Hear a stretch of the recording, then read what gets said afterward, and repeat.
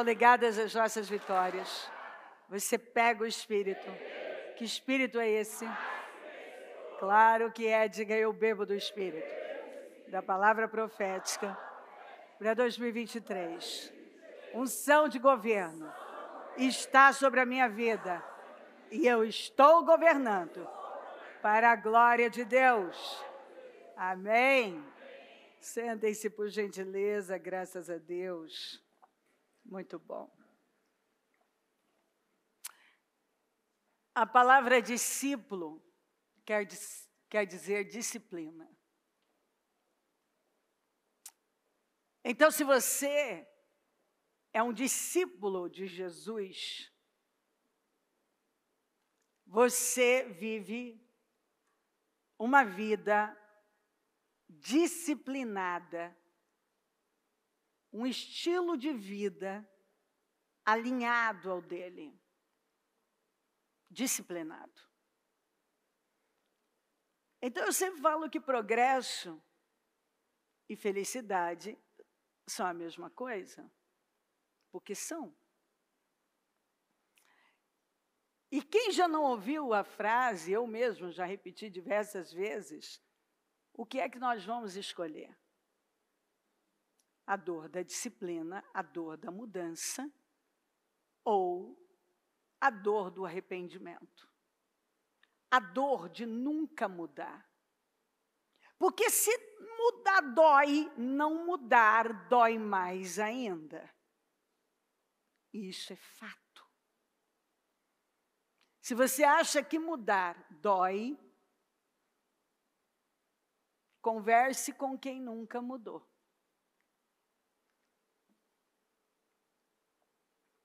O que é a vida? Se nós não estivermos progredindo todos os dias, como pessoas, com pais, mães, filhos, profissionais. Mas isso é resultado do encontro com alguém. Se você tem um encontro com Jesus, você não vive mais essa vida sem crescimento.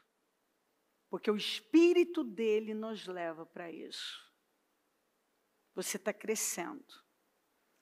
Tudo está mudando o tempo todo. Tudo. Nós estamos mudando.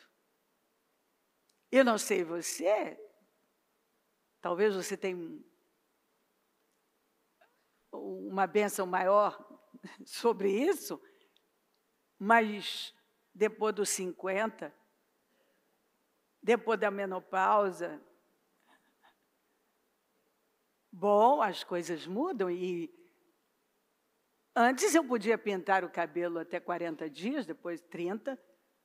Agora já com 20, 25 dias dava para passar. Agora de 15 em 15, agora já me disseram que chega semanalmente.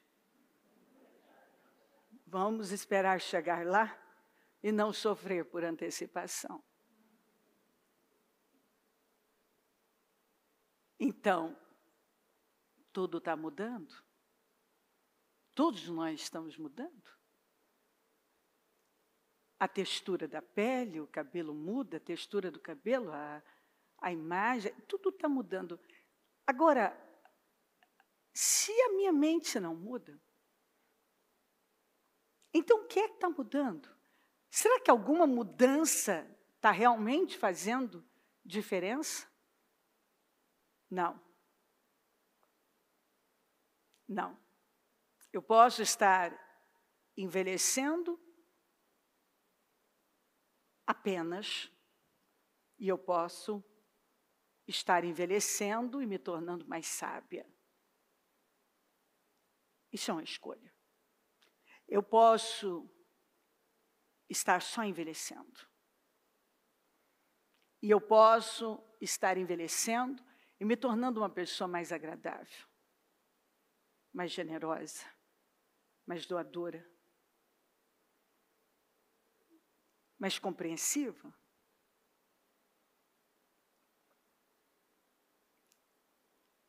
Você escolhe.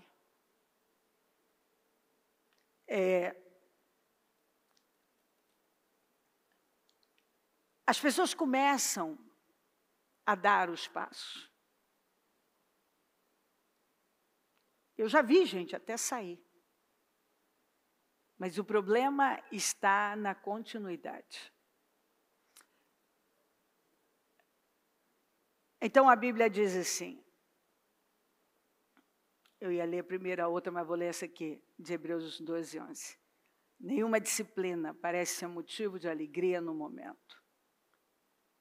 Mas sim, mas sim, de tristeza. Mais tarde. Então, no momento em que você toma algumas decisões, você está acostumado com o sistema, com estilo de vida, em fazer algumas coisas que não é que é, elas são boas, é que você está acostumado. Pode ser que elas sejam péssimas, mas é o que você sabe. E nós somos o que acreditamos, nós temos o que acreditamos. Agora, mais tarde, porém, produz fruto de justiça e paz. E paz. Todo mundo quer isso, justiça e paz. E ninguém vai ter alegria se não tiver paz. E todo mundo quer. Quer paz? Não dá para viver sem paz? Eu ouço as pessoas dizerem que querem alegria, que querem ser felizes, mas a felicidade ela começa exatamente quando o reino de Deus se apossa de você. Porque o reino de Deus está dentro de nós. E o que é o reino de Deus? O que é o sistema do mundo? É um sistema de engano religioso, econômico, governamental. O que que é fornecido está muito relacionado à estética, à imagem. Mas o reino de Deus, ele vai além de tudo isso, ele é justiça. E é para lá que a gente vai. Eu quero ser guiada pelo que o reino de Deus está me ensinando. Então, o que o reino de Deus me ensina? Andar na justiça. Que justiça é essa? É a justiça que provém da palavra, que a palavra é justiça. O reino de Deus é paz. O reino de Deus é alegria no espírito. É uma alegria que vem do espírito. Então, o reino de Deus é baseado nisso, em valores e princípios. Então, quando eu começo a ser guiada pelo reino de Deus, ele é o oposto do mundo. E nós fomos chamados para viver assim. Não é para sair do mundo, não está lá, mas é estar lá, Deus poder colocar você lá e as pessoas verem o reino de Deus em você. A maneira como você trata as pessoas tem justiça, tem verdade, tem honestidade. Você, elas não apenas trabalham para você, você tem o interesse de mudar a vida delas. Você não apenas trabalha num lugar, você tem a, o interesse de estabelecer, de instalar e estabelecer o reino de Deus naquele lugar. Você entra num lugar onde tem um sistema.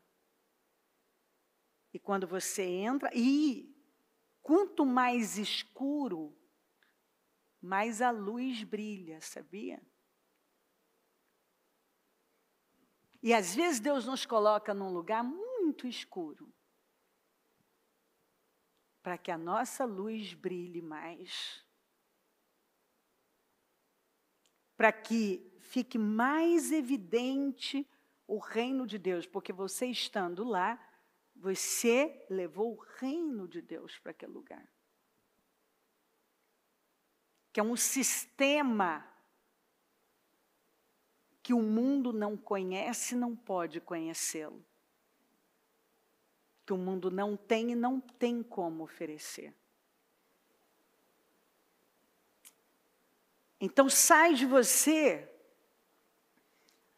um homem, uma mulher, que as pessoas não conhecem, elas não conhecem ninguém igual a você. Porque a maioria anda e conhece e anda com gente igual. Gente que fala e faz o que essas pessoas estão fazendo. E aí, quando você chega, você leva o reino de Deus. Então, a pessoa trabalhou em vários lugares e agora ela passa a trabalhar com você. Ela encontra algo que ela não encontrou em lugar nenhum. Alguém que investe nela e que mostra para ela que ela faz parte do negócio. E dá estímulo para ela.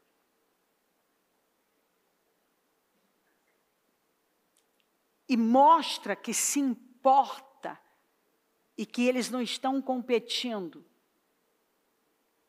mas muito pelo contrário.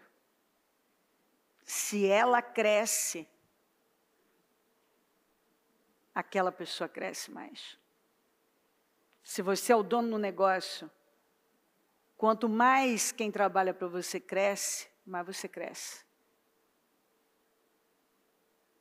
Quanto mais você subjuga, mais você trava a sua vida, porque é uma lei.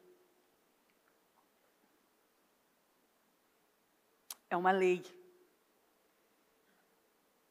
Você carrega o reino de Deus. E o reino de Deus é justiça. O que, que a justiça manda fazer? A justiça do reino. É paz. Nós levamos paz, nós não levamos peso. É alegria. Nós levamos alegria. Nós encorajamos, nós motivamos, nós damos esperança. Então, quando nós começamos a nos disciplinar em Deus, naquele momento, quando você começa a viver essas mudanças e efetuar essas mudanças, não é fácil. Você tem tanta coisa lá. E, e que não é fácil. E às vezes você acha até que não vai conseguir. Dá tristeza. Quando você começa a se disciplinar nesse novo padrão, que é o padrão de Deus, que, que é, é para lá que nós temos que ir, porque nós fomos gerados para isso. Tudo foi criado para isso. Vai para Gênesis e você vai encontrar tudo que Deus tem para nós. Então começa onde? Começa com Deus. No princípio, Deus. No princípio, Deus. Vai continuar sendo assim. Deus em primeiro lugar. É através de Deus, é através da palavra de Deus que as coisas começam a existir. É Deus. Você vai para lá. Como que ele criou as coisas? Para acontecer de que jeito? Está lá. E é com base na criação que eu tenho que viver.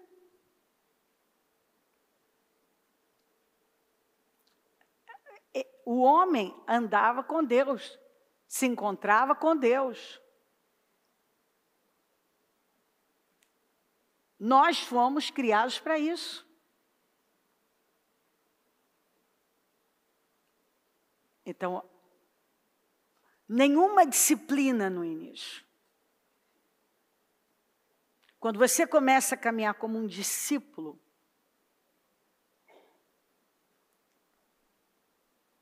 você tem que aprender muita coisa. Você ainda escorrega muitas coisas. Então parece que você não vai conseguir. Mas você vai. Então, aquele início, você acha que tudo é muito, é, é desafiador, é difícil. Agora, mais tarde, logo você vai ver o resultado dessa entrega, o resultado desse comportamento, o resultado. Logo você vai ver, meu Deus, olha o resultado disso. Olha a justiça em mim. Olha a paz. Para aqueles que por ela foram exercitados. Estatísticas comprovam que, lamentavelmente, 95% das pessoas que traçam metas para o novo ano desistem antes na verdade, na metade do mês de janeiro. Isso é triste. Agora, que isso aconteça lá fora, tá bom. Mas e aqui dentro? Que nós estamos sendo treinados para mudar lá fora. Porque a gente vem aqui, recebe o treinamento e agora vamos levar. Vamos ensinar como é que faz. Primeiro com a nossa conduta, com o nosso exemplo. Terá tomou seu filho Abrão, seu neto Ló, filho de Arã e sua nora Sarai, mulher de seu filho Abrão, e juntos partiram de Ur dos Caldeus para Canaã. Mas ao chegarem a Arã, estabeleceram ali. Terá viveu 205 anos e morreu em Arã. Então o Senhor disse a Abraão: saia de sua terra, do meio de seus parentes, da casa de seu pai, e vá para a terra que eu lhe mostrarei. Bom, você é resultado da sua fé, do que você acredita? Ponto. Nós somos o que acreditamos. E nós precisamos definitivamente entender que é assim. Você faz o que faz porque você acredita. E nada disso é novo. O Terá, ele saiu, ele viveu 205 anos. Veja o quanto ele viveu. Ele viveu mais do que o Abraão viveu. Só que tem poucas linhas dele. Fala que ele viveu 205 anos e a marca que Terá deixou foi que ele saiu de um lugar com destino ao outro e parou em outro. Isso diz tudo sobre Terá. Terá foi um adorador de ídolos. Terá mais do que adorador, ele fabricava ídolos. Então, ele negociava ídolos. Então, imagina que Abraão, ele foi criado nesse ambiente, tendo como exemplo um pai que não só tinha seus ídolos, ele fabricava ídolos para vender para os outros. Ele negociava. Digamos assim que ele era um negociante da fé. Ele sabia que a fé é algo muito forte. O que a pessoa acredita. E ele estimulou as pessoas a acreditarem em coisas que provavelmente até ele acreditava em muitas delas, talvez em todos os ídolos que ele fabricou. Mas ele viveu com base nisso. Então ele não só viveu com base nessa fé, como ele também estimulou outras pessoas como ele, trabalhou e negociou isso. Ele vivia envolvido com isso. E Abraão foi criado num ambiente onde se adorava muitos deuses. E que o pai dele vendia ídolos, fabricava ídolos. E Deus tinha um propósito. Deus tinha uma obra com ele, tinha um chamado.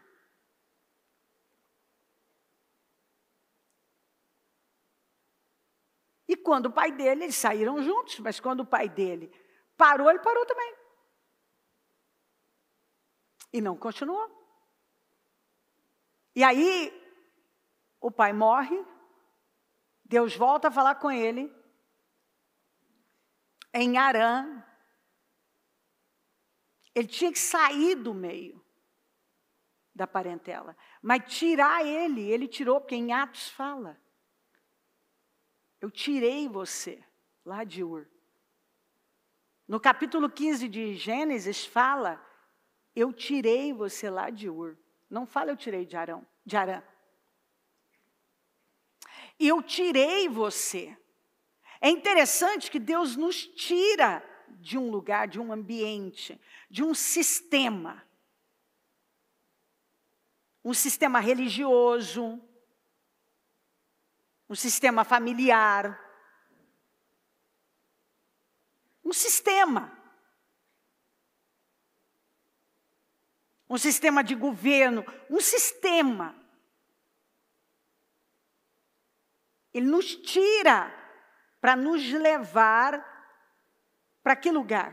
Para o sistema dele, para o reino dele. Só que quando nós vamos de reino, nós já pensamos de ir para o céu, e tal. Não, não. Nós trazemos o reino, nós mostramos o reino com a nossa vida, porque ele está em nós. Foi o que Jesus falou, está aqui dentro. Então agora eu vou viver com base no reino. Ele vivia com base no quê? No sistema, com base no sistema totalmente corrompido. E o Senhor tirou ele daquele sistema. E, e, e trabalhou para tirar ele daquela mentalidade, daquele padrão, daquele estilo de vida. Tanto que o Senhor deu detalhes: saia da sua terra. Então, fala de um lugar geográfico, fala do, saia do meio dos parentes e da casa do seu pai. Então, tem toda uma influência e tem uma cultura. O pai dele tinha uma cultura. Tem uma cultura aí. Eu quero que você saia dessa cultura, desse sistema e desse lugar. É mudança de tudo quanto é tamanho. Eu não quero mais você na cultura do seu pai, eu não quero mais você debaixo dessa influência, eu não quero mais você nesse lugar físico moral religioso. Não quero nada disso aqui. Saia. Sai daí. E vai para o lugar que eu vou te mostrar. Você tem que sair, eu vou te mostrar. E Abraão sai e rompe com o padrão do pai, com a cultura do pai, com a influência do pai, das pessoas que ele convivia, com a influência daquele lugar, com aquela fé, com aquele sistema. Ele rompe com tudo. Aqui fala de mudança de mente. É a metanoia. Chegou a hora de você passar por uma metanoia. Não tem mudança sem metanoia. Jesus começou pregando metanoia. Arrependei-vos no grego é metanoia. Mudem a mente, mudem o padrão. Não é mais esse padrão. Nunca foi, na verdade. O reino de Deus chegou. É com base no padrão do reino, no sistema do reino. Na, você tem que ter a mentalidade do reino. É por isso que não funciona. É por isso que nós não afetamos a sociedade, não afetamos nossos parentes, não afetamos o lugar que nós estamos trabalhando, porque é a cultura do reino. E cultura do reino é o quê? É voltar lá o estilo de vida simples do Evangelho de Jesus e dos discípulos. Nós pegamos um monte de regras e sistemas e movimentos e blá blá blá e perdemos o principal, que é comunhão, que é vida, que é relacionamento. O Senhor não nos chamou para sermos cumpridores de regras, mas para andar com Ele, conhecê-lo, ter intimidade com Ele, estar de mãos dadas na viração do dia, passear no jardim com Ele. Foi para isso que nós fomos chamados.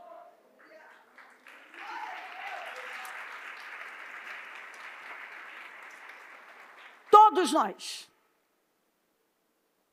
Esse é o ponto.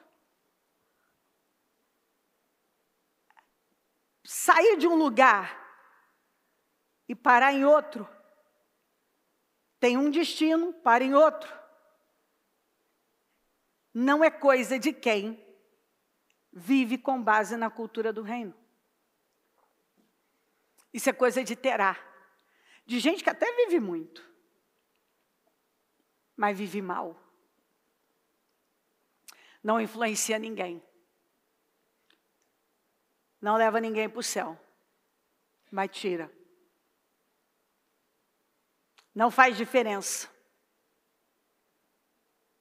E quando você ouve sobre aquela pessoa, é o que nós estamos lendo sobre Terá. Saiu de um lugar, com destino a outro, parou em outro. A maioria vive assim. Até saiu do mundo. Mas foi até um ponto em Deus. Não continua. A mente não foi renovada, está dentro da igreja, mas ainda pensa como terá. Pensa como o pessoal de Ur dos Caldeus. Sabe o que significa? O que é Ur aqui é um sistema. Fala da Babilônia. Babilônia é um sistema religioso, governamental, mundano, que é só engano. E aí, você está no meio do caminho. É aquilo que eu chamo do crente de meio que de, o crente de fronteira. Ele vai até a fronteira e ele nunca entra. Ele vai até um ponto. Ele nunca vai até o fim. Ele fez uma parte. Ele até creu, se batizou, está fazendo alguma coisa, mas ele não continuou. Então ele não tem progresso. E ele acaba vivendo uma vida apática. Às vezes ele até tem um tom de fé, ele tem um progresso numa área.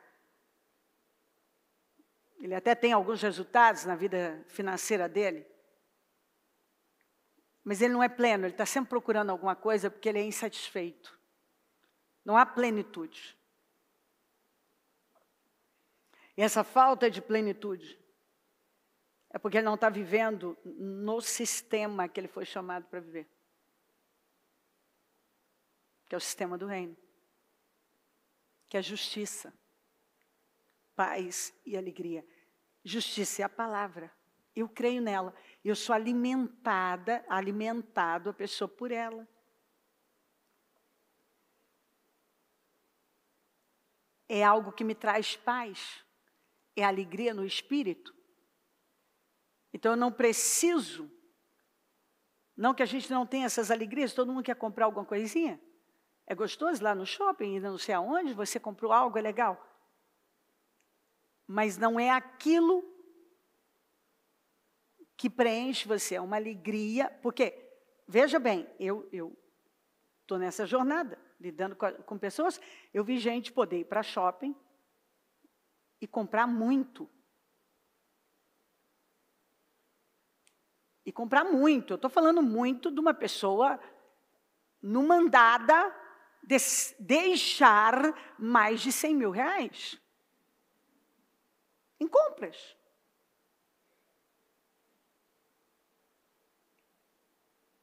E chegar e não ter alegria para botar, não ter satisfação, não ter nada. Aquilo não significar nada. Ou seja, sem dúvida nenhuma, dinheiro não é tudo. Tem gente que acha que dinheiro é tudo. E está longe de ser. Dinheiro é uma ferramenta. Que se ela for usada com propósito e da maneira correta, ela é uma bênção. Ok, essa pessoa foi lá, gastou tudo para ela. Voltou e descobriu o quê? Que ela continuava triste, insatisfeita, amargurada e que não tinha nem vontade de usar nada daquilo. Porque é uma alegria no espírito.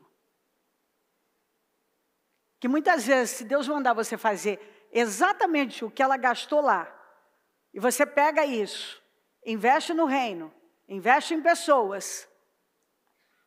Você tem, eu não estou dizendo que ela não tenha que comprar o que for justo, o que está correto, que ela, que ela, ela entende que está tudo certo. Mas muitas vezes a questão não é essa, e ela está gastando o que não é pão. E o que, que não é pão? É quando você quer suprir uma carência que só Deus pode suprir. Com dinheiro. Você não vai suprir. Não tem como. Você precisa de algo mais, você precisa da alegria do Espírito. É uma alegria que vem de dentro, dada pelo Espírito. É uma mudança que acontece dentro de você. Você começa a caminhar com Deus. E esse caminhar com Deus te preenche. E agora você começa a entender o porquê você está aqui, qual é o sentido de você estar tá aqui. Para que Deus te chamou? Te chamou, te gerou. Para que você transborde a presença dele, o reino dele. Para que você mostre para as pessoas o que é justiça, o que é paz, o que é alegria no espírito. Qual é a verdadeira alegria? De onde que vem a alegria? Alegria, ela vem de algo maior, que nada pode nos dar. é de um relacionamento que toma a sua vida. E agora você não tem mais solidão, não tem mais o sentimento de rejeição, de abandono, porque você recebeu o amor dele. Você se sente totalmente seguro, amado. Tem um Deus que te pegou. Tem um Deus, o Deus eterno, que está cuidando de você. Tem algo maior. Você agora entende por que eu estou aqui. Para onde eu estou indo? Tem gente que não sabe por que está aqui, não sabe para onde está indo. Não sabe nada da eternidade, não sabe nada. Até crentes. Que a gente vê aqui Ele frequenta, ele participa de algumas coisas, mas não está lá. A mente dele não foi renovada. Não imitem o comportamento e os costumes deste mundo. É, qual é, o que, que o Salmo 1 fala? A primeira coisa, o primeiro salmo não é por acaso. já começa dizendo: ei, não se assentem à roda de escarnecedores, não imitem a conduta deles, não tome conselhos deles. Não imitem o comportamento e o costume deste mundo. O que esse mundo faz não é para ser imitado. O que todo mundo está fazendo não é para ser imitado. Nós imitamos a Cristo, nós não imitamos o comportamento desse mundo. A gente não imita, eu não vou imitar Abraão, você não vai mais imitar seu pai. Você não vai mais parar quando seu pai parar. Você não vai mais fazer o que seu pai fez. Você não vai seguir com base nesse, nesse padrão. Eu estou te levando para um outro sistema, é o meu. Eu vou te ensinar como é que vive. Se aprendeu por 75 anos a viver de um jeito, a ter um estilo de vida. Você viveu com, com base em, em influências que não foram boas. Agora chegou a hora de você sair disso. Eu quero que você saia de tudo isso. É do lugar, é da, do convívio, de tudo isso. Eu não tenho isso para você. Eu quero te levar para um outro lugar. E interessante que ele saiu e carregou o Ló com ele. Logo no capítulo 13, você vai ver que não deu certo e que Deus só mostrou a terra para ele quando ele se apartou do Ló. Porque o Senhor estava mostrando para ele. Não. Não, mas eu vou ficar sozinho, Senhor. Vai.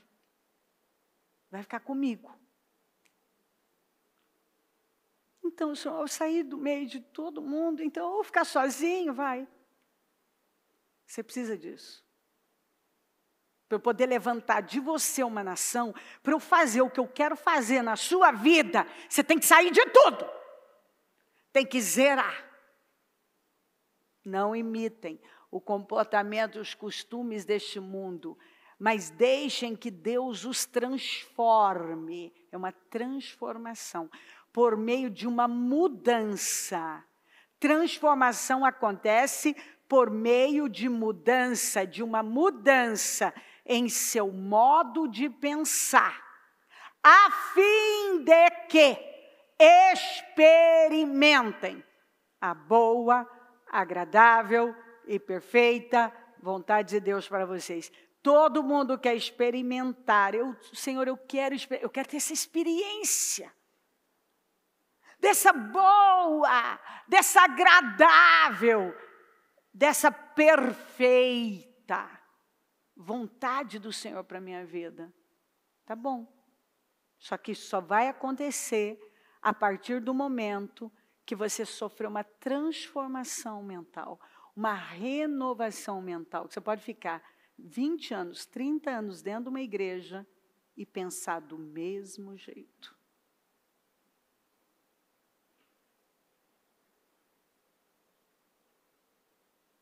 ter o mesmo padrão de pensamento de todo mundo. Ter o mesmo padrão de pensamento da família, das pessoas e conviver com pessoas. E de repente, a hora que você para, você olha que todo mundo na sua casa é crente, mas tem a mesma linha de pensamento. Todo mundo, até dos seus amigos cristãos, até os seus irmãos na fé, está todo mundo com a mesma mentalidade.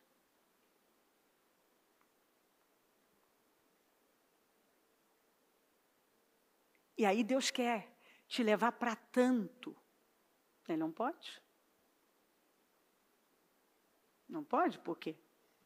Você não tem mente para isso. Como é que ele vai botar um negócio na sua cara, nas suas mãos, você não acredita? Você não, ele está dando, pega aí. Não, mas eu, eu não entendo sobre isso, eu não, não acredito, não entendo. Como eu vou pegar? Você faz o que faz porque você acredita. É o que você acredita. Nós adquirimos rituais. A gente olha para a vida de uma pessoa, dá para saber quais são os rituais dela, o que ela come, se ela bebe água, o que, do que ela se alimenta. É só olhar, você já sabe o que, que ela come.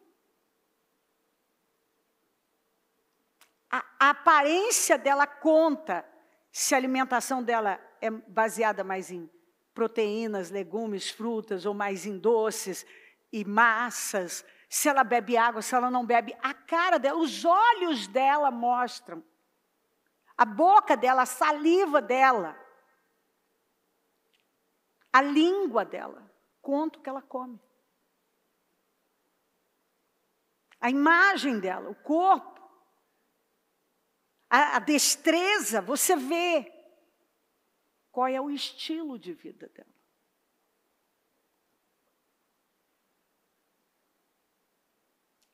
Então, você olha para a imagem, você sabe qual é o estilo de vida.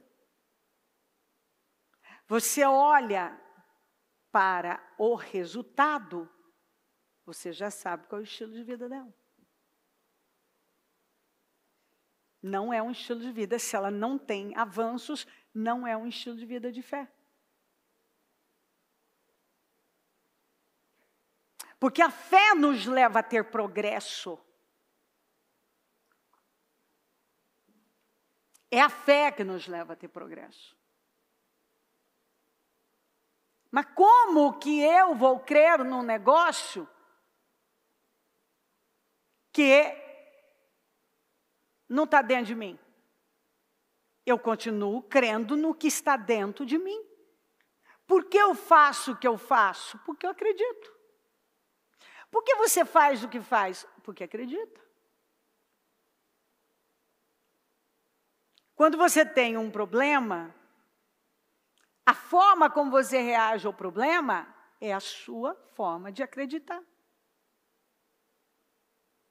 Quando você passa a ter um nível de equilíbrio, é porque mudou aqui dentro.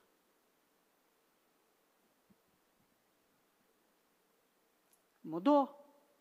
Ó, você está governando, você está tendo disciplinando, você tinha uma reação de tal forma aos problemas. Com o filho, por exemplo, ele fazia uma coisa, você já. Agora você já tendo um outro, tá, está tendo um, um outro comportamento. Está entrando. Porque disciplina, discípulo, é disciplina, é se disciplinar. Mas disciplinar no quê? No sistema de Cristo, do reino. Eu vou andar como ele andou. Eu vou pensar como ele pensou. Ele não fez o que fez porque ele era o filho de Deus, mas porque ele foi um homem de fé, porque ele creu no propósito, porque ele se submeteu, porque ele se humilhou. Vai ler Filipenses, vai ler João, vai ver o que ele falou. Ele disse que ele só fazia o que ele via o pai fazer.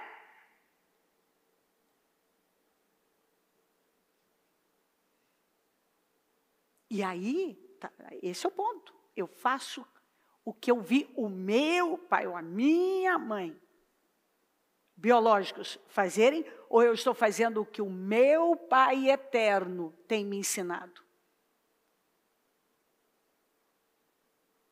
E à medida que eu vou lendo a palavra, eu estou ouvindo a palavra, eu estou aprendendo. Ah, é assim. Então eu vou me alinhar a isso. São decisões que eu vou tomando na minha vida. Eu quero experimentar o melhor de Deus, mas eu ainda imito a conduta dos pecadores. Eu imito. E, e, olha, gente, eu posso dar aqui, fazer a lista, mas será que é preciso? Será que nós ainda estamos no ponto de ter que desenhar?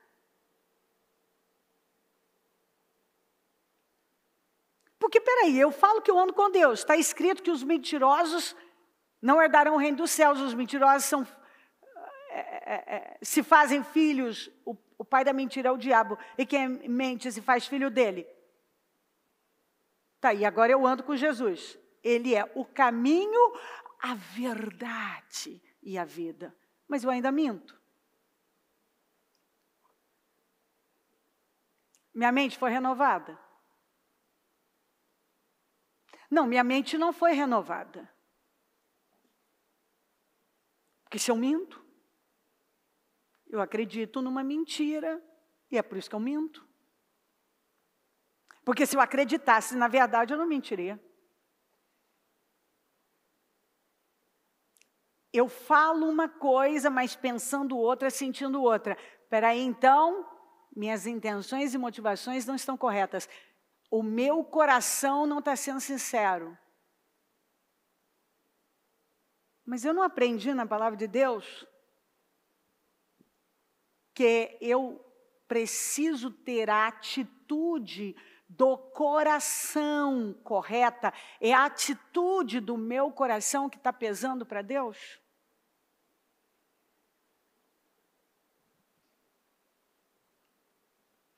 Aí eu passo uma vida inteira dentro da igreja, cheia de, de crenças erradas, de feridas.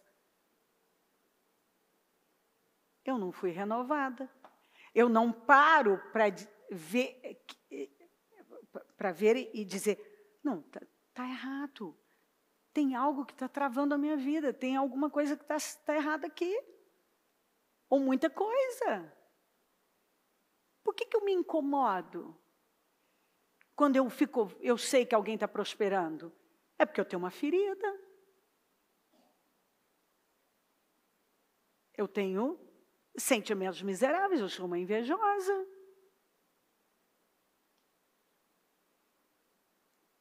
Por que, que eu me ofendo tanto? São perguntas que eu tenho que fazer. Por que, que eu me ofendo tanto? Porque eu sou orgulhosa. Eu vivo ofendida. Olha o meu nível de insegurança. Qualquer coisa que uma pessoa fala, eu estou ofendida. Então eu tenho uma ferida, eu não sofri renovação. Porque onde que um discípulo de Jesus, onde? Me fala. Estou falando quem está ali, ó. Andando, respirando o ar de Jesus. Quando? Tem o Espírito Santo habitando em você. Essa pessoa lá tá, tem, tem tempo para se ofender? Se acha mesmo que ela vai perder tempo com isso? Ela tem outros valores. Ela, a luta dela não é contra carne e sangue. Ela já leu isso na Bíblia mas contra as potestades. Então ela não vai mais lutar contra carne e sangue. Ela vai repreender aquele mal que está usando aquela pessoa. E ela não vai parar a vida dela por conta daquilo. Oh, desmonto. Porque olha o que disseram. Não, ela tem um propósito de vida. Ela agora sabe qual é o propósito dela: viver para a glória de Deus, trazer o reino, mostrar o reino de Deus. Você acha que uma pessoa que teve a mente renovada, ela senta numa mesa para falar mal dos outros? Ela sai para almoçar com alguém, vai tomar um café com alguém para falar mal. Ou na, na mesa de jantar, o lugar sagrado da família. Vão sentar para falar mal dos outros? É um lugar de ensino, diz a palavra. É um lugar de crescimento. É um lugar onde você discipula.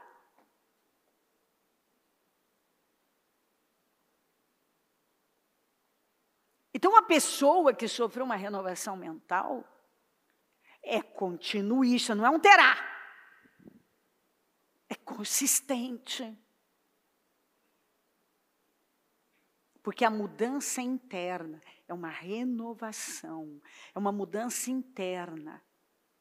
Ser um, ser um frequentador de um culto, de uma igreja, não faz de você uma pessoa transformada.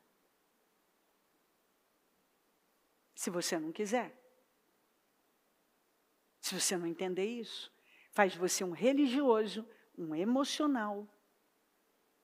Tudo que não funciona, eu não quero que você chegue. Eu fico triste quando eu fico sabendo que alguém está no ministério há muitos anos e pensa do mesmo jeito. Eu vou a Deus. Eu, eu, quantas vezes eu fui? Abri até jejum já, algumas vezes, para dizer, Senhor, minha mensagem não está atingindo?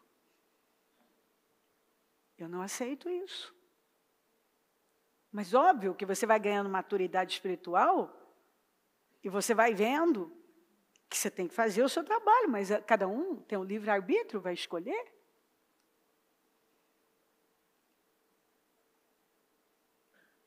Você está pregando? Está ensinando? Às vezes até um líder, quantas pessoas? Você manda, o mesmo material que está aqui na minha mão, está na mão deles.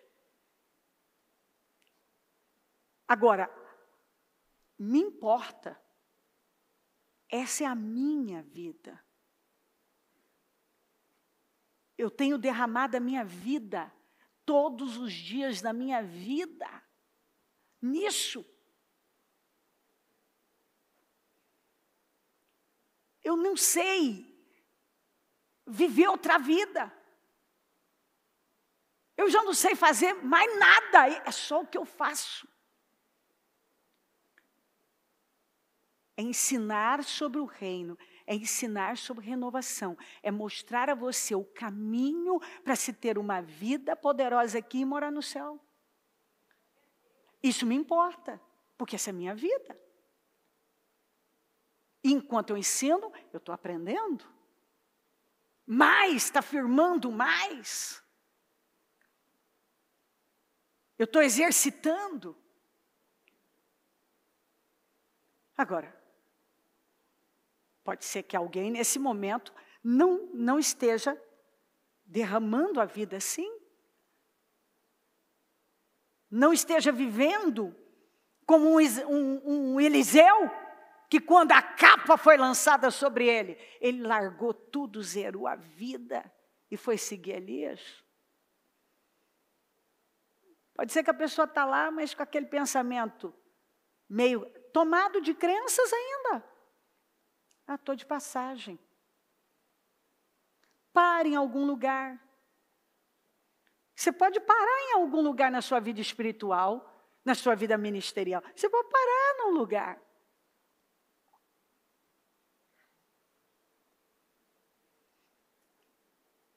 E você para, tudo para.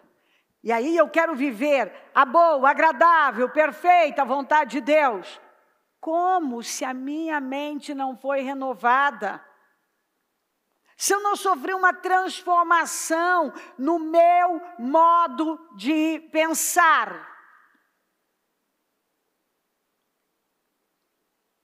Queridos, o que nos realiza é o que nos tornamos. Quando eu olho para mim e vejo que as coisas que tinham poder sobre mim não tem mais, eu me realizo, meu Deus, que progresso.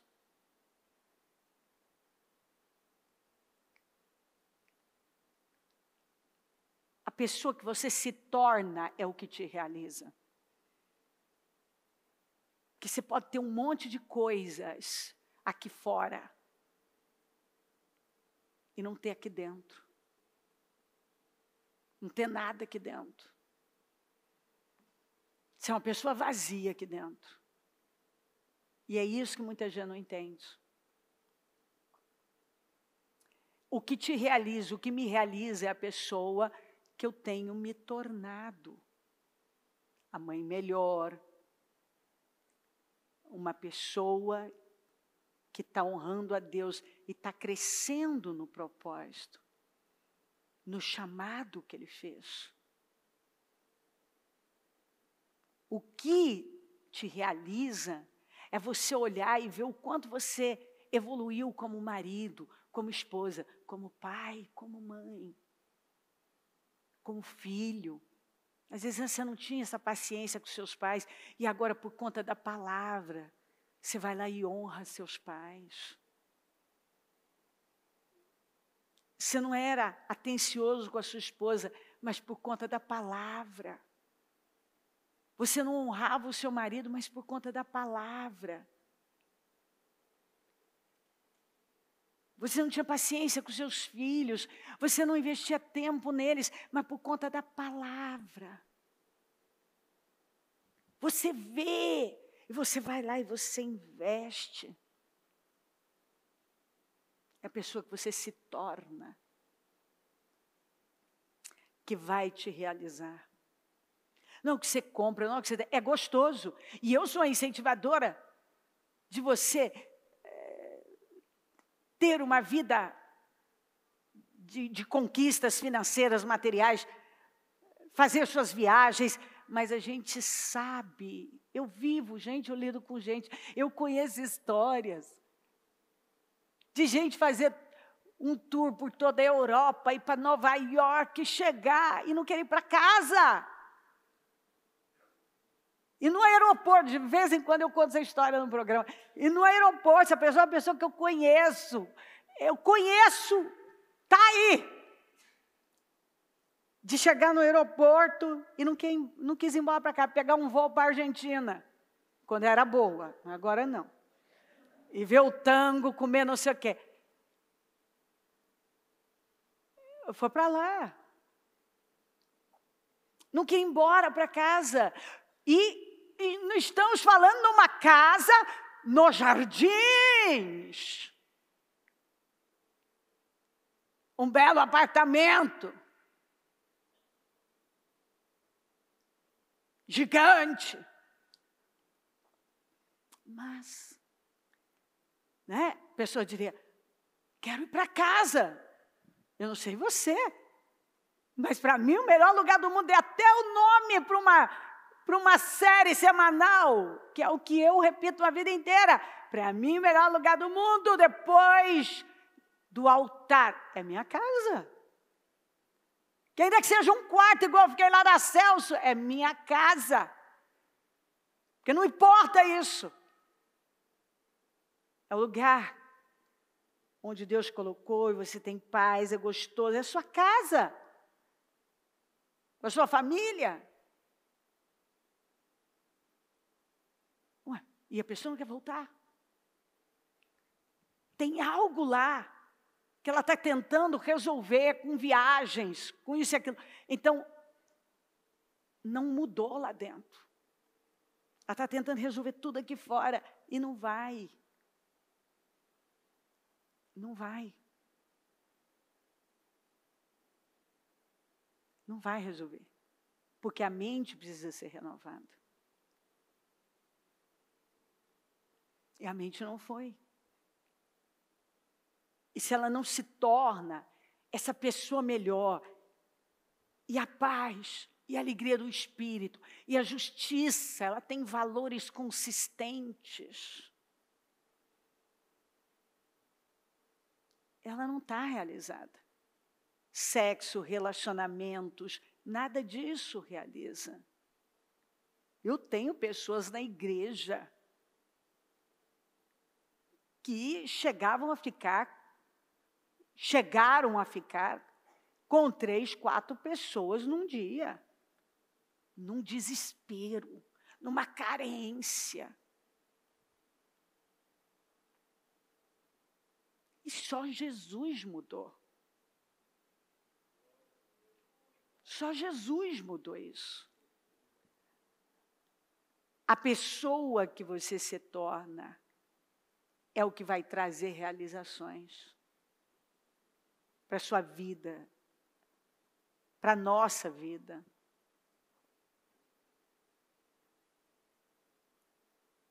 E mesmo que você não queira voltando, mudanças estão acontecendo. Uma mudança. Olha o mundo.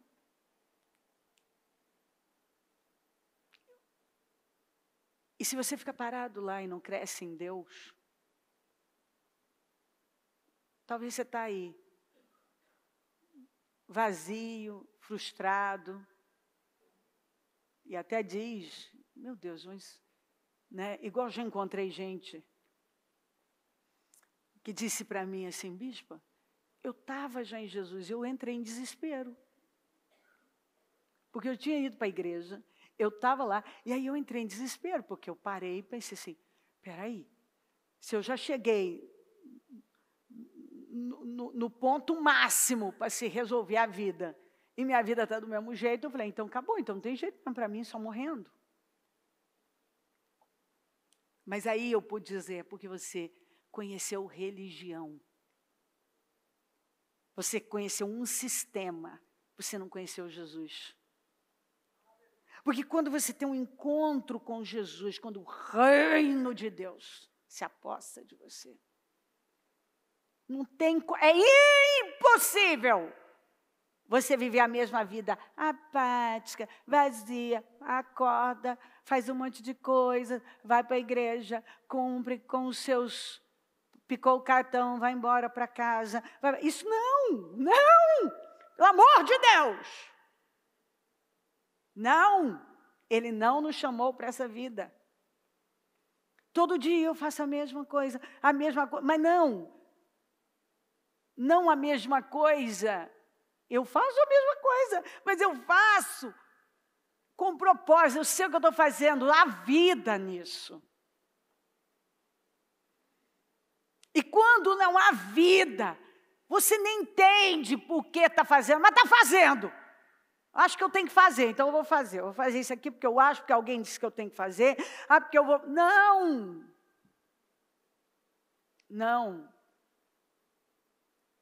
Você não tem que fazer porque todo mundo está fazendo, porque alguém disse que você tem que fazer.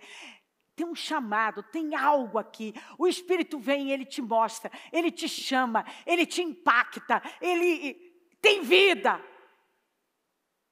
Você está vivo.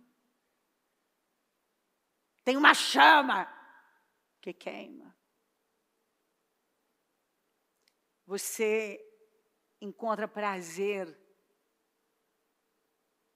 E ainda que você viva um tempo difícil, você sabe que sabe. Esse é o meu lugar, é o que eu tenho que fazer, é onde eu fui plantado, é o que Deus me chamou para fazer é isso, é onde eu vou ficar, é o que eu vou fazer. E você se recompõe e você se repulsiona. E é incrível. E é incrível. E quando chega o momento de mudanças, porque o propósito é o mesmo. Mas Deus, ele vai evoluindo. A visão é a mesma. Mas ela não é estática, ela não fica parada. Ela vai crescendo. Tudo vai crescendo. Mas você está lá entra ano, sai ano, no seu propósito, no seu chamado, e você tem vida. E se você perceber em algum momento que o fogo está começando a apagar, você se lembra, opa, espera aí, alguma coisa está errado. Eu vou voltar lá. Eu vou ver onde é que eu comecei a me distrair, para onde olhei, o que, que aconteceu, porque não, eu estou precisando voltar lá, nas primeiras obras. Progresso e felicidade.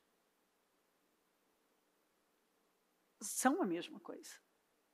Quando você progride espiritualmente, quando você progride como homem, como mulher, em todas as áreas, e você está aqui para progredir para o seu mesmo.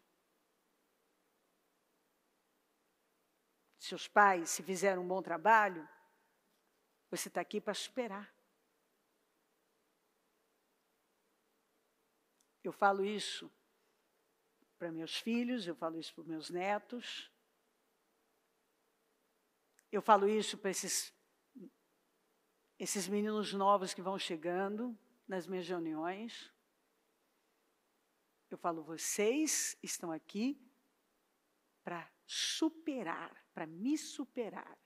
Eu vim até um ponto, eu estou indo até um ponto, mas vocês vão fazer muito mais, vocês vão muito além. Deus vai usá-los para coisas muito maiores. E eu faço meus netos repetirem constantemente. Nos meus cultinhos, em momentos que estamos ali encerrando uma, um, uma refeição e oramos antes de cada um ir embora. Eu digo, repitam com a vovó, repitam comigo eu serei poderoso na terra. Porque é o que está escrito: que nossos filhos e netos serão poderosos na terra. Eu só estou repetindo a palavra? Eu só estou levando eles a repetirem a palavra? Eu quero que eles acreditem que eles podem ir para um lugar muito mais alto, que eles podem fazer muito mais. Porque Jesus falou: vocês vão fazer obras maiores do que eu fiz. E eles podem, eles devem. Eles devem, é preciso. Eles têm condições de serem melhores, de realizarem melhor, mais e melhor, para a glória de Deus. Não para a vaidade, mas para a glória de Deus. Porque essa é a mentalidade do reino. Você treina uma nova geração para ser melhor que você. É o que diz a minha Bíblia. Essa é a mentalidade do reino. Você nunca tem medo de alguém tomar o seu lugar, porque quem te levantou foi Deus, ninguém pode tirar o que Deus deu a você.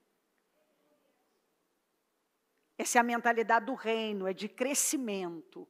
Então você está à frente de uma equipe, você treina da melhor maneira aquela equipe para ser melhor que você.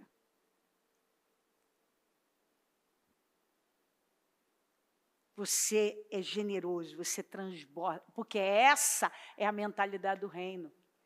Toda vez que você vê uma pessoa generosa na vida, e aí não me reviro só à questão financeira, a vida dela, ela transborda a vida dela, ela derrama a vida dela. Você encontrou uma pessoa que tem a mentalidade do reino.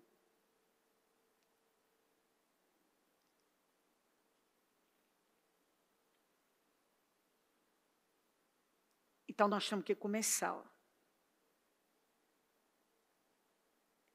De onde nós estamos? As coisas que entraram foram pequenas coisas que foram entrando, pequenos rituais que nós fomos fazendo consistentemente que nos, que nos formaram. E agora, é, cada palavra que eu pego, eu deixo entrar e começo a colocar em prática de forma consistente. E mudar os meus rituais. Que é isso que o Senhor está me chamando, está chamando a mim a você.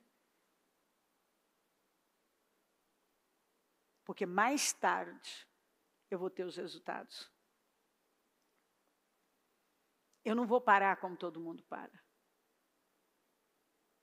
Eu não vou imitar o que as pessoas estão fazendo. Eu vou pegar o que a Bíblia está me orientando. Eu vou ter hábitos alinhados à palavra de Deus, porque os hábitos determinam você e onde você vai chegar. É aquela história, você faz o hábito, o hábito te faz. Mudanças duradouras, elas vão exigir de nós investimento, consistência, continuismo, e vamos, e vamos, e vamos o tempo todo energia na coisa certa, foco, porque muita coisa vai vir para nos distrair. Mas onde tudo começa? Naquilo que nós acreditamos. Se eu não estou tendo progresso, eu tenho que parar e ver o que é que eu acredito. Eu estou fazendo uma coisa porque eu acredito. E eu preciso mudar. Eu preciso fazer um questionamento. Será que eu não estou errada? Será que eu não estou equivocada? Será? Porque eu estou ouvindo uma coisa, mas eu, tô, eu continuo batendo que do meu jeito é melhor. Mas eu também não estou tendo resultado. Então, peraí.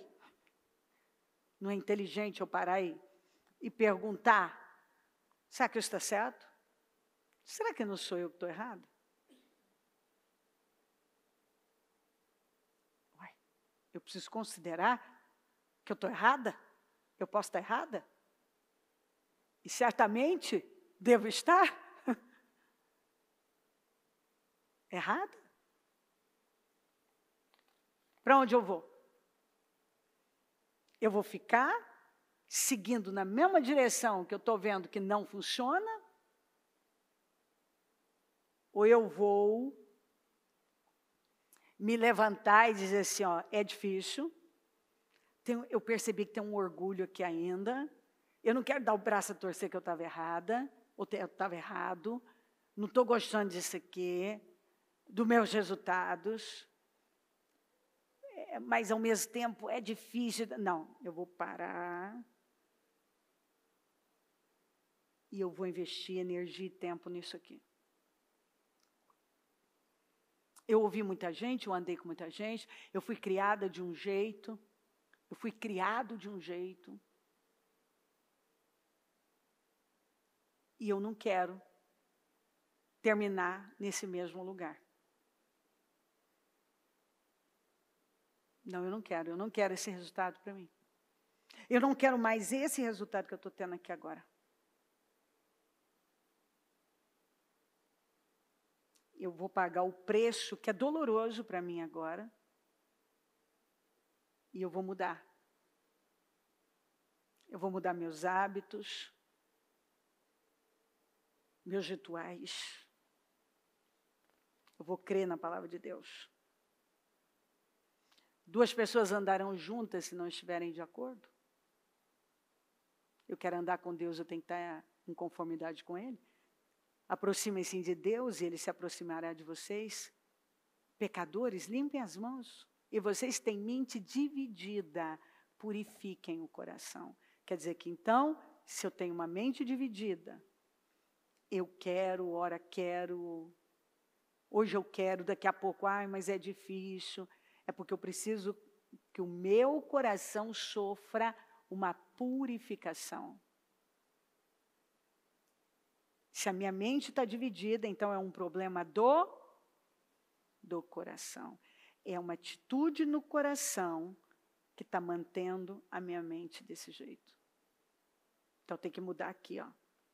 Sendo assim, aproximemo-nos de Deus com um coração sincero e com plena convicção de fé. Se estivessem pensando naquela de onde saíram, teriam oportunidade de voltar. Que coisa, né? Se você pensar numa coisa, pode saber, se você começar a pensar naquilo, é o que você vai fazer. Então, se eu não trabalho essa mudança aqui, não tem como eu mudar alguma coisa aqui. Gente, eu falo isso uma vida inteira.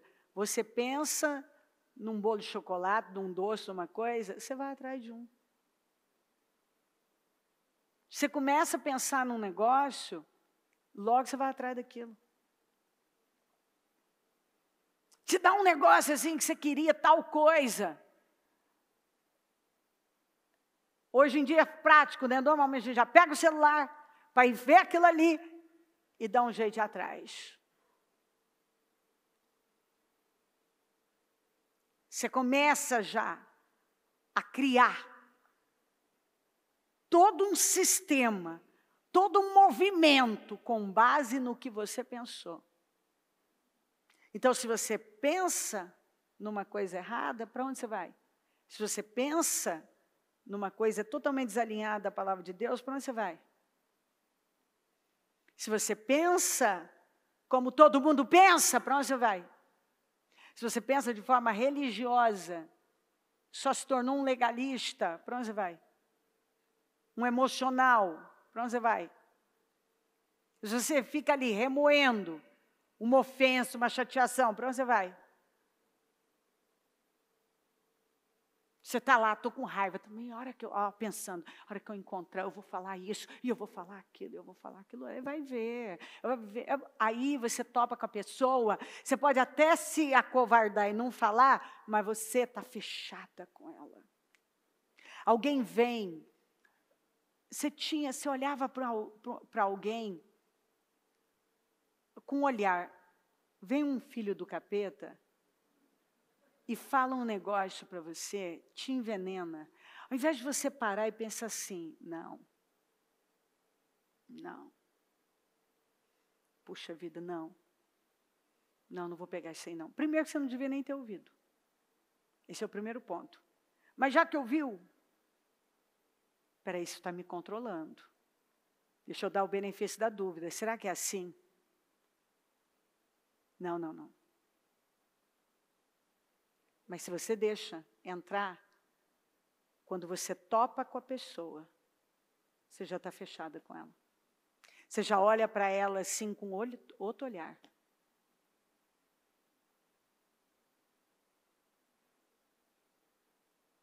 Com outro olhar. Muda. Porque você deixou entrar. Você pensou naquilo. Agora você está incomodada com aquela pessoa. Ela não é mais a mesma coisa para você. Você não olha para ela da mesma maneira. Por quê? Porque você ouviu um trem e você pensou naquilo.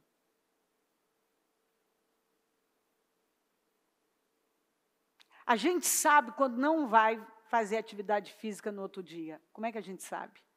A gente diz para a gente assim: não, não, mas eu, eu vou lá dentro de você você fala assim, eu vou mais, sabe? Tem um, um mais lá dentro que você já se permitiu. É diferente quando você fala assim, não, nada vai me impedir. Quando lá tem, tem um mais, lá, eu é, estou cansada, eu tal, tal. Acorda, você põe para despertar. Você até põe. Quando desperta, você bate, vira para o canto, porque lá dentro você já tinha se permitido. Você tentou se enganar, dizendo, não, eu vou, ó, não, eu vou. Mas lá dentro, é, mas você já dormiu com aquele mais. Você não levanta, você não vai. É a mente. Deus nos criou para vivermos num nível de excelência, num nível alto. E é aqui. É o que você acredita. É como você pensa. A Bíblia diz isso. Como você pensa, você é. E se você não se disciplina, porque você acha difícil, ou você passa pela dor de passar pela disciplina, de fazer o que é preciso, ou você vai passar pela dor da frustração, da decepção com você mesmo, com a sua vida, a dor de ver a vida de tanta gente que foi, às vezes, gente que você até evangelizou, gente que até esteve com você, gente que você viu pequeno, agora cresce, já passou você. E você olha e pensa assim: meu Deus. Mas onde você estava? No seu mundinho de detalhes, pensando um monte de coisas, do seu jeito, ouvindo o que não acrescenta, fazendo coisas que não acrescentam, fazendo o que todo mundo faz. Quando você deveria estar fazendo o que os filhos do reino fazem. Eles não vivem uma vida solta. Eles sabem onde estão e para onde estão indo. Feliz é aquela que creu, é aquele que creu que se cumprirá aquilo que o Senhor lhe disse. Quem é feliz? Aquele que crê. Que vai se cumprir o que o Senhor disse, como Abraão creu. Aquele que crê. Crê na palavra. Chama a existência o que não existe. Ele crê tanto que ele começa a profetizar sobre a vida dele, tudo que ele acredita e que ele vai, vai, onde ele vai estar, o que ele vai fazer, quais os resultados. Ele estabelece metas com Deus, não na força do braço, com Deus, para as mudanças dele. E mesmo que algo não tenha chegado ainda, acontecido, ele continua trazendo à existência o que não existe, ele continua declarando. Ele acredita. Vamos colocar em pé. Coloque a mão no coração.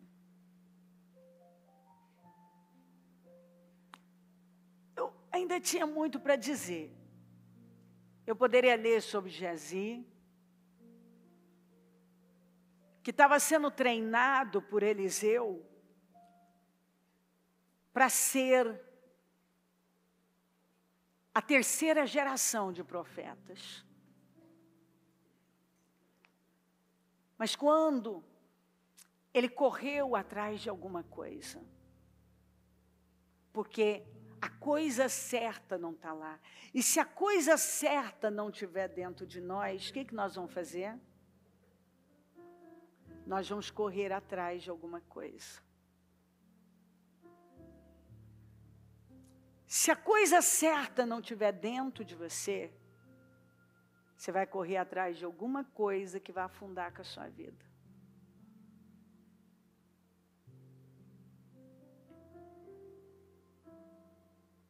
Se a coisa certa não estiver dentro de nós, cedo ou tarde nós vamos trocar a coisa, a, a, o propósito de Deus para a nossa vida, por alguma coisa. Eu vejo homens trocando suas famílias por uma aventura. Correu atrás de alguma coisa. Pessoas trocando a vida com Deus para um prazer nesse mundo.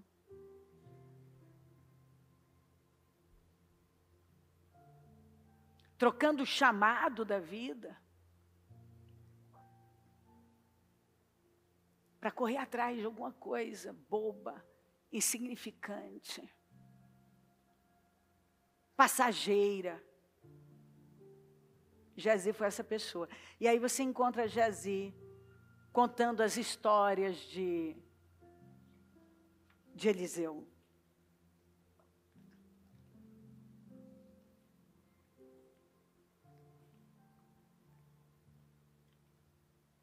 E ele viveu a vida dele contando. A última vez que a gente encontra Jezia contando as histórias de Eliseu. Mas Eliseu abandonou tudo, soltou tudo. E ele foi chamado de aquele que foi servo que deitava água nas mãos de Elias. Ele pagou o preço, ele ficou lá, servindo Elias. caminhando com Elias, aprendendo tudo. Porque ele tinha um alvo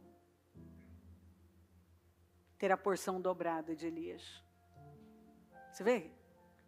Ele viu, ele tinha posses, mas ele viu na porção dobrada, em ser o sucessor de Elias, um chamado maior, algo muito mais importante.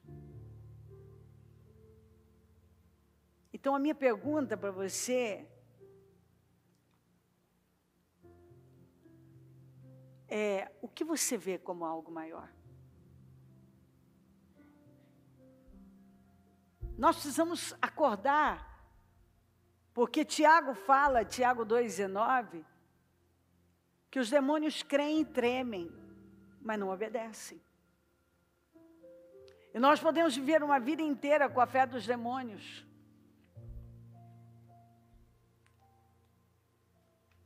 Sem muito. Sem muito mais, sem nada mais. E correndo sempre atrás de alguma coisa porque não sabemos o nosso lugar.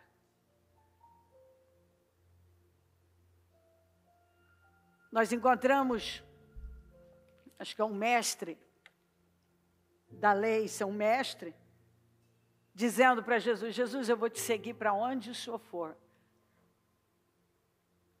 E Jesus vem e fala assim: as raposas têm suas tocas. E as aves têm seus ninhos, mas o filho do homem não tem onde repousar a sua cabeça. Quer dizer, eu estou sendo guiado por Deus e para onde eu tiver aqui é para onde eu vou. E... É isso que você quer para a sua vida? Ser guiado por Deus? Era a pergunta que Jesus estava fazendo, contando. O discípulo diz: Deixa-me, eu quero te seguir, mas me deixa eu, eu sepultar meu pai primeiro. E Jesus disse algo que muita gente não entende: deixa os mortos sepultarem os mortos.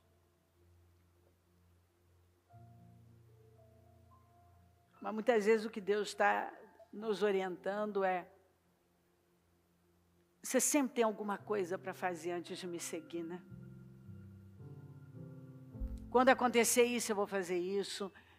O ano que vem eu vou fazer isso. O mês que vem eu vou fazer é, quando acontecer isso, eu vou fazer aquilo ali. E o Senhor está dizendo: você não tem depois, você tem hoje.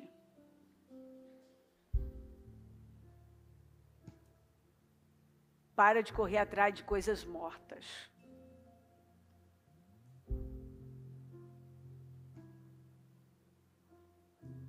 Eliseu cortou tudo para seguir Elias para servir Elias. Pelo que a gente percebe, lá ele devia ter os servos dele e tal, mas ele viu naquilo algo muito maior. E era. Por mais que ele crescesse, onde ele estava, ele nunca seria o homem que ele se tornou, seguindo o chamado de Deus. E Deus está nos chamando para esse nível mais alto. Todos nós. Porque eu sei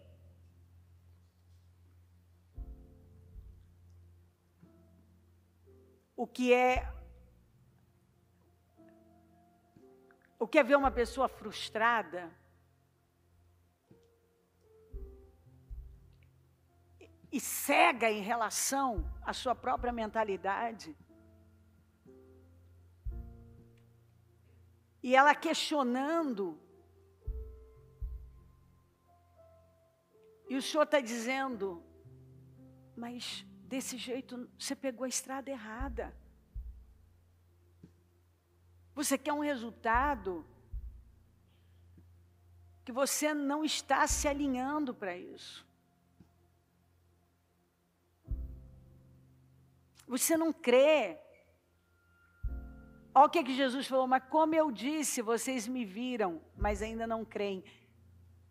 a multidão correu. Lembra a multidão que ele multiplicou os pães e peixes? Quando ele vai entrar no barco, vai para lá, a multidão vai atrás dele. E ele para e fala para esse povo: Vocês vieram atrás de mim por causa do pão.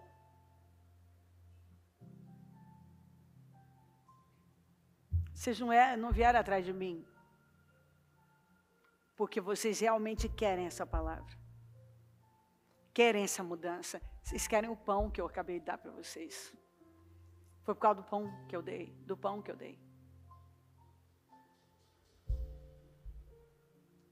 E aí ele repete no, no 36, como eu disse, vocês me viram, mas ainda não creem. A mente de vocês não foi mudada, era isso que ele está dizendo.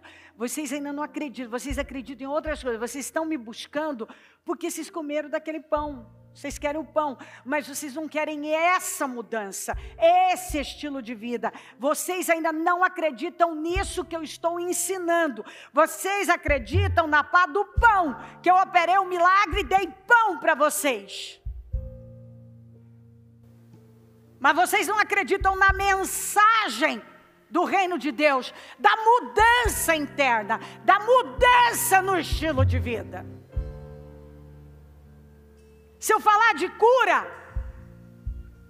você acredita, você, você, você quer, você quer na a cura, você quer. Se eu falar, quer ver uma coisa que não tem esse que não quer? Se eu falar de dinheiro, vou fazer uma oração para você ficar rico. Eu vou ouvir tanto glória a Deus e palmas que eu tenho quase pedir. Espera! Não bate tanta palma, senão não oro.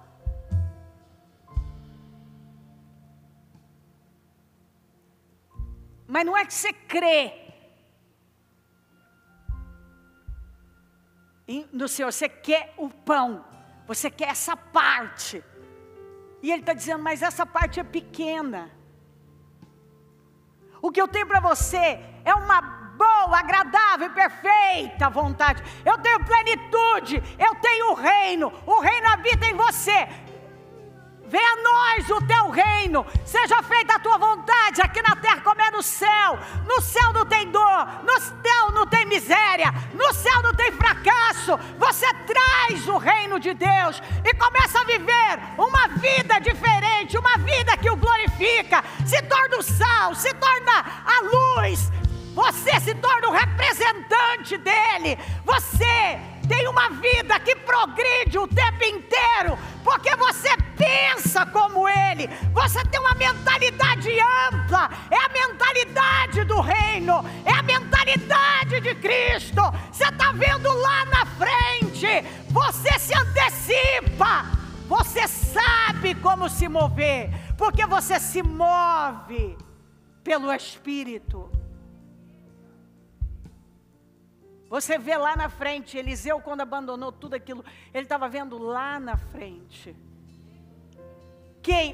Uma pessoa da, que não é dominada por essa mentalidade, tem uma mente pequenininha, carnal, avarenta, cobiçosa.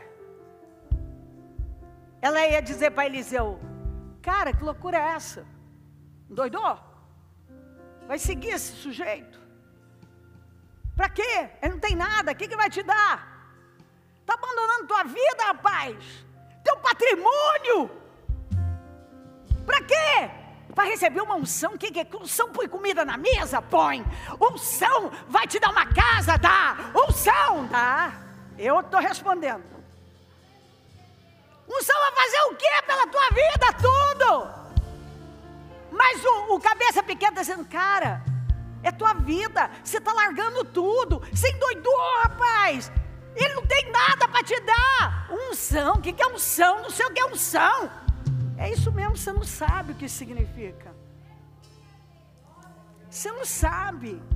Você tem uma mente pequena, você só vê o aqui e agora. Esse mundinho, ó, você está nesse quadradinho aqui, ó. O seu mundo é quadradinho. Eu estou vendo lá na frente ele entrou para a história. Eu estou falando dele. Todo mundo quer a porção dobrada aqui. mundo fica encantado. Os ossos dele reter unção para ressuscitar um homem.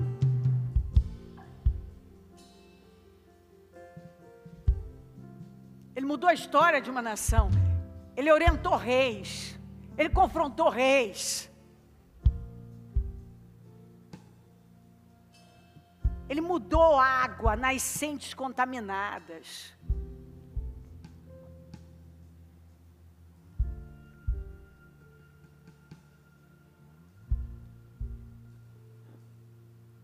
Ele viu. E Deus nos chamou para essa mentalidade.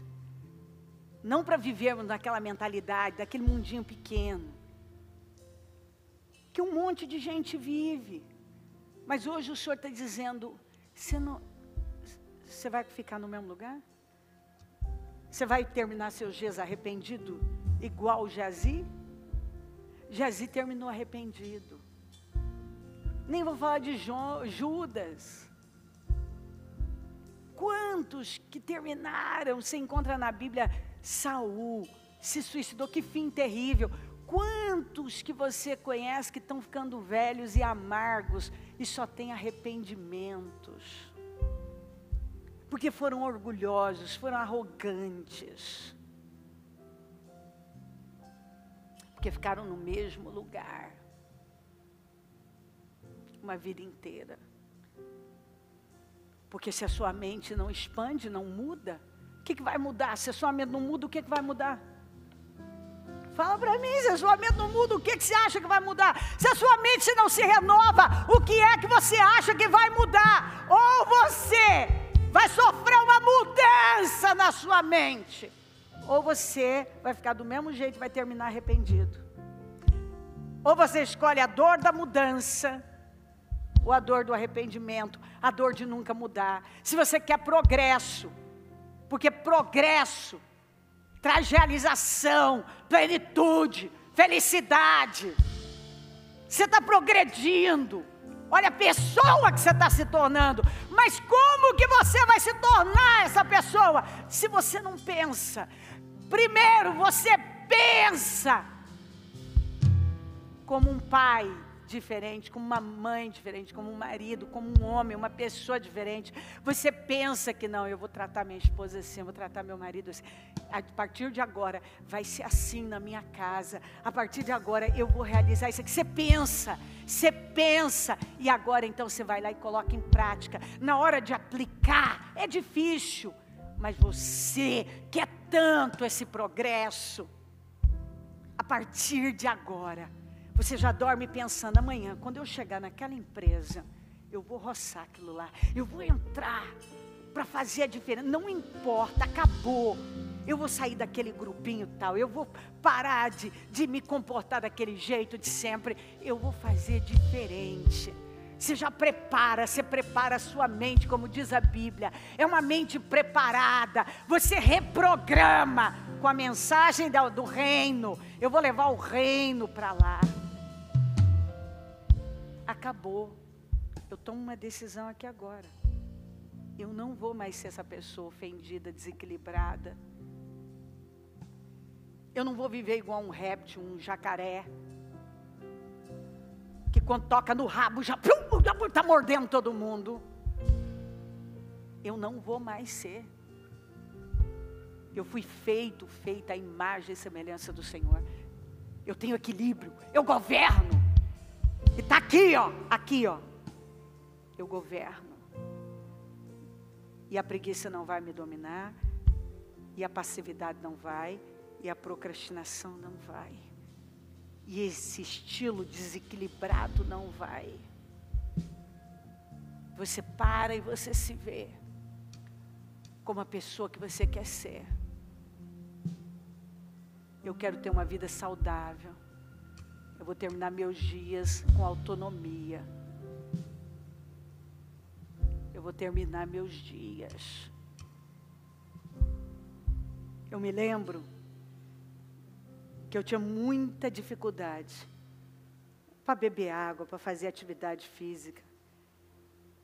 E eu comecei a fazer exatamente assim, eu fechava meus olhos e me via Eu, eu vi a imagem de eu bebendo água. E aí eu comecei a me ver já com a roupinha adequada e caminhando. Fui lá e comprei a roupa. Comprei o tênis. Por enquanto eu só tinha a imagem na cabeça, a roupa e o tênis.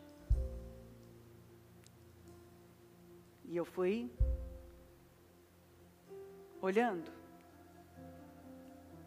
Aí eu tive um encorajamento de Deus.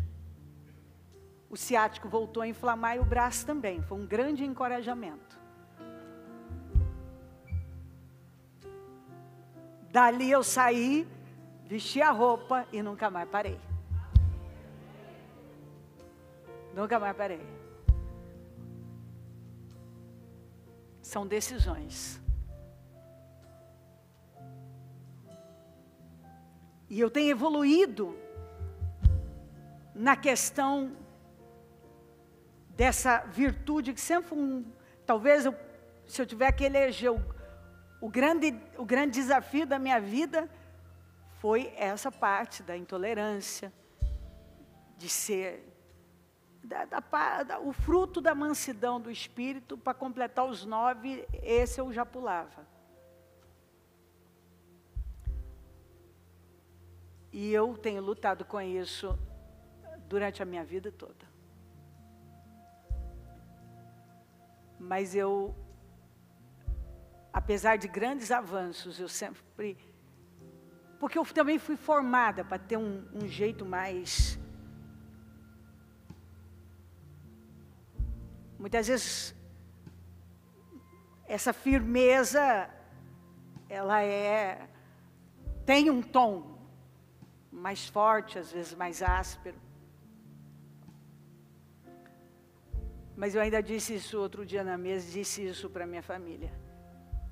Que isso é uma decisão. Eu falei, eu não vou ter, passar para a história e terminar os meus dias o Moisés foi um homem com temperamento tão descontrolado nessa parte que ele matou um homem. E ele chegou a ser chamado como o homem mais calmo. E eu disse isso. Eu falei, eu não vou passar para a história, não vou terminar meus dias assim. Eu quero evoluir nisso. Já andei bastante, andei, mas eu quero andar mais. Óbvio que não é da minha, do meu temperamento ser passiva. Eu tenho um tom mais forte. Isso é meu, é da minha personalidade. Eu tenho uma ousadia para tomar decisões.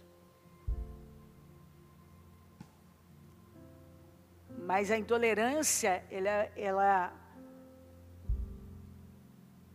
é, é, é ela está ligada ao orgulho, e você não quer admitir que tem um orgulho. E há uma ferida que você não quer admitir que tem.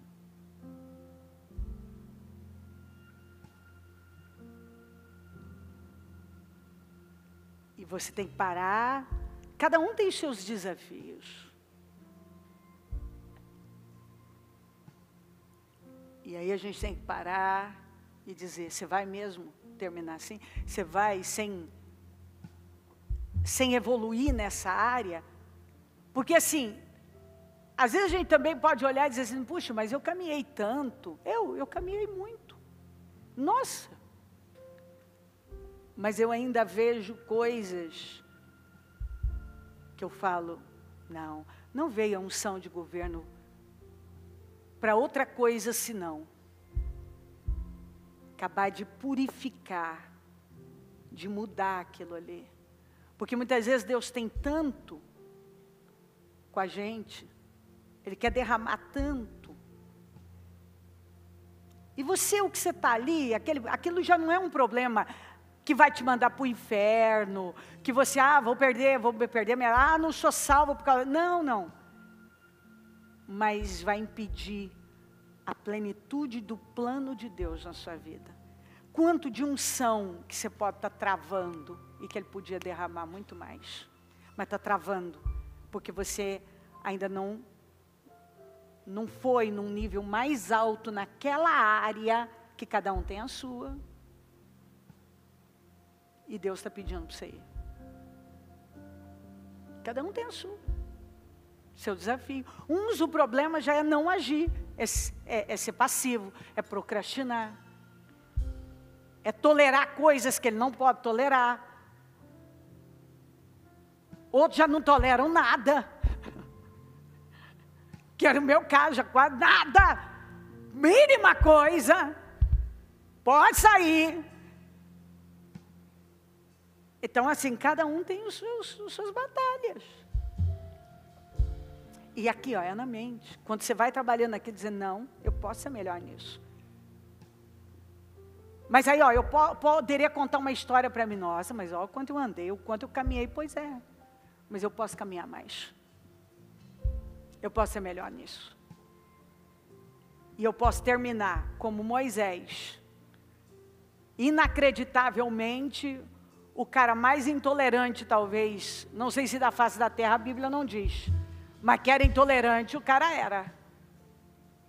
Impulsivo, terminou como a pessoa mais calma da face da terra. Cada um persegue uma coisa.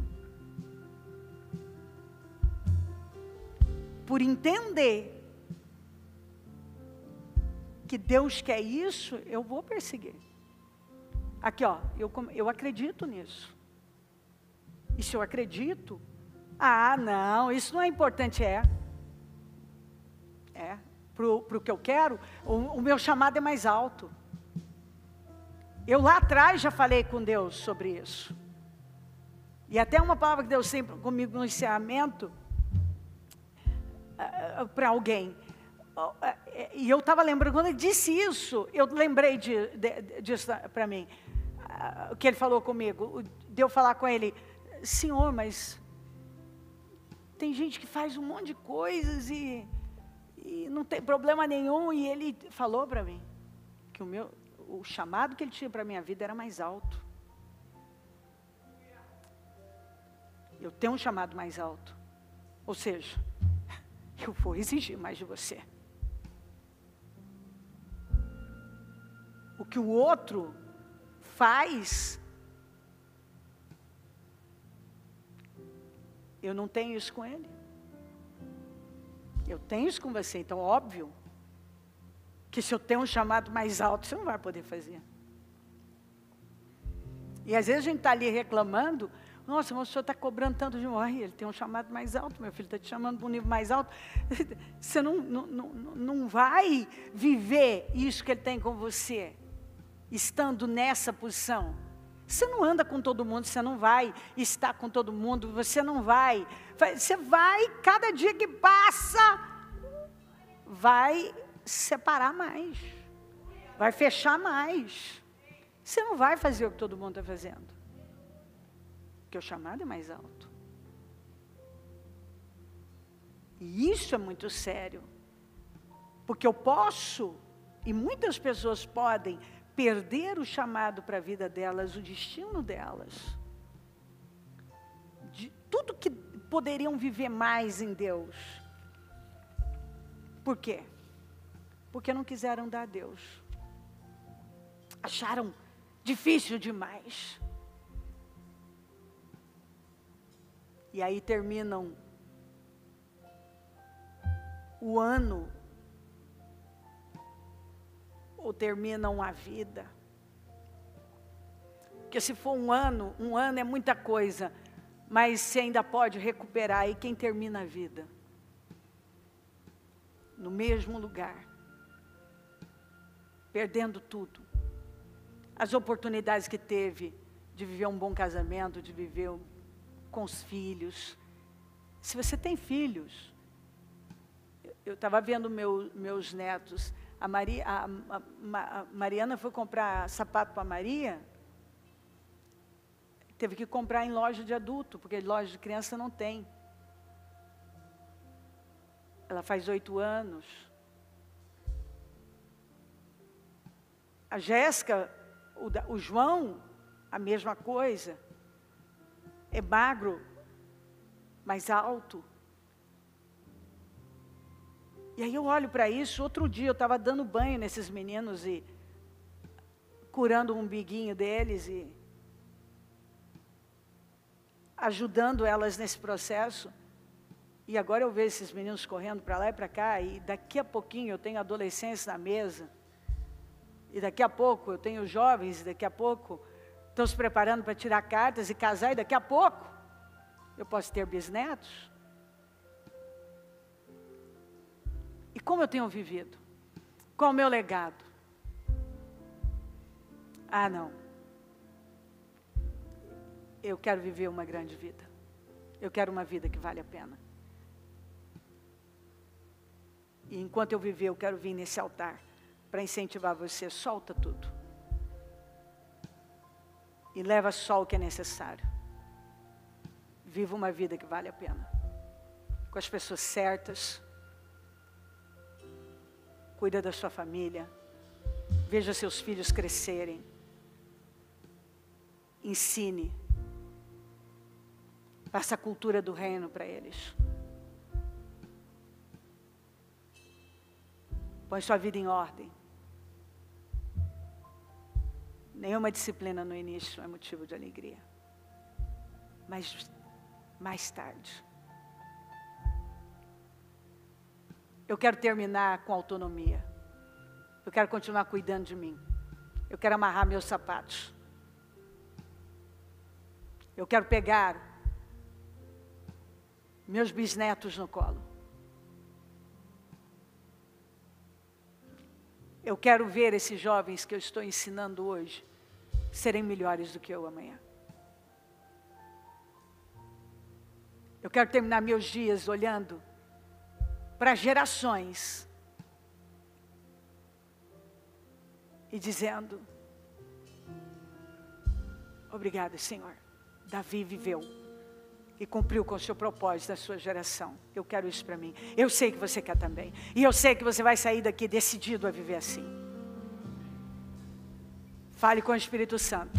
E você vai dizer isso. Eu não sei, Senhor, por mais difícil que seja, mas hoje eu estou me levantando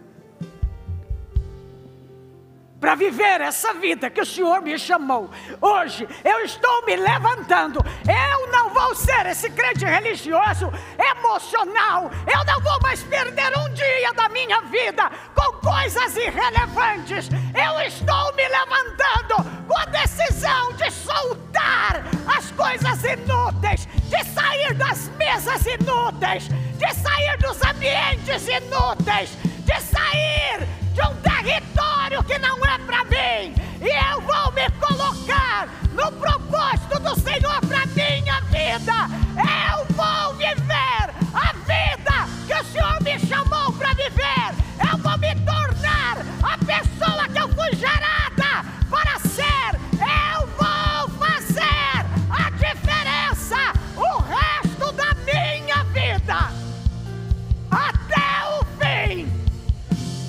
Eu vou viver para dar louvor ao Senhor. Eu estou me levantando. E eu vou, Senhor. Eu vou para a mesa de jantar com a minha família. E eu vou ensinar os meus filhos a serem poderosos na terra. Eu vou olhar nos olhos do meu cônjuge e juntos nós vamos construir uma grande vida. Eu vou me alinhar com o Senhor, e eu vou investir na mudança da minha vida, para que eu possa impactar outras pessoas. Eu vou impactar os jovens que chegarem até mim. Eu vou impactar as pessoas que chegarem até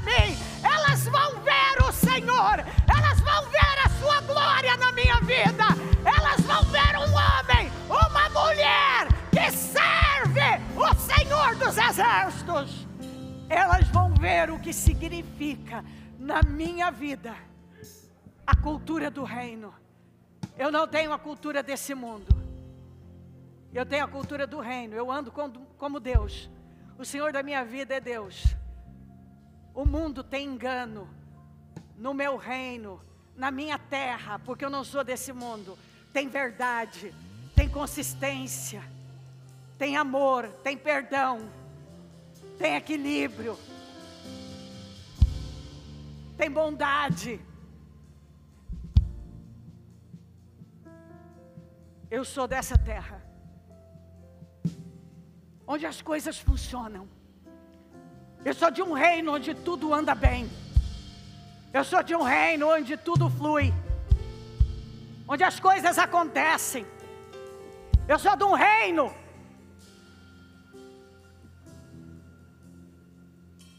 Onde o temor é que guia a minha vida. Eu sou do reino. Eu sou do reino dos céus. Espírito Santo que um mover aqui hoje tome toda a igreja e que saia dessa primeira parte desse quinto jejum. Um povo decidido a uma vida elevada, a uma vida de excelência. Pessoas que não têm medo de serem ouvidas. Eu quero ser ouvida, Senhor. Porque quando eu estou naquela mesa de jantar, eu falo o que eu quero que todo mundo me ouça, eu quero que eu quero ser ouvida. Eu não tenho medo de ser ouvida. Eu quero, Senhor, pedir que o Senhor dê essa consciência. Porque quem é do reino não tem problema de ser ouvido. Porque tudo que ele fala é edificante o suficiente para transformar outras pessoas. Ele não tem medo de ser ouvido. Muito pelo contrário, ele quer ser ouvido. Porque o que ele está dizendo vai edificar vidas. Eu oro, meu Deus, para que essa consciência, isso é, isso é um entendimento que acontece dentro da gente, esteja tomando conta de cada um aqui. E que um povo renovado, um povo transformado, um povo que acredita na verdade, que está tomado pela verdade, saia daqui. E ande por aí nessa sociedade corrompida, mostrando que há esperança. Que ainda existem pessoas que dão esperança. Que esse homem, essa mulher, possam mostrar para os vizinhos que há esperança. Que as professoras possam olhar para os filhos, para essas crianças obedientes, tementes, e se encherem de esperança, porque ainda tem famílias, tem pais, que se preocupam em educar, em disciplinar, tem pais que ainda ensinam os filhos a honrar as autoridades, a honrar um professor. Que essas professoras, esses professores se encham de esperança, só de ver os nossos filhos. Que essa escola fique impactada quando conversar com cada um desses crentes em Jesus, no Senhor, esses, esses cristãos, Senhor. Porque cristão é aquele que se parece com o Senhor, que tem a mente do Senhor.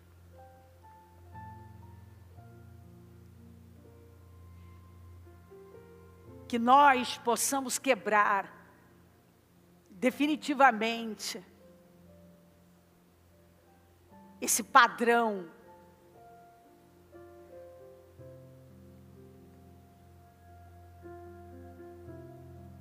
Essa mensagem tão terrível, essa visão terrível que nos envergonha. Que muita gente fala, eu não quero negociar com crente, mas que possam dizer por negociar conosco,